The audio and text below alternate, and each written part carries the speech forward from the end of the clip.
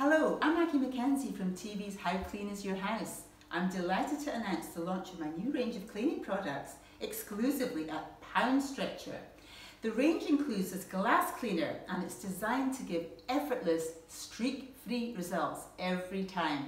It's brilliant on glass and mirrors and it'll leave everything sparkling. The bottles are totally recyclable and the formula inside is non-hazardous and has not been tested on animals. They're all fantastic value for money, so why don't you head on down to Poundstretcher today and check them out? And while you're about it, why don't you check out aggiestops.com?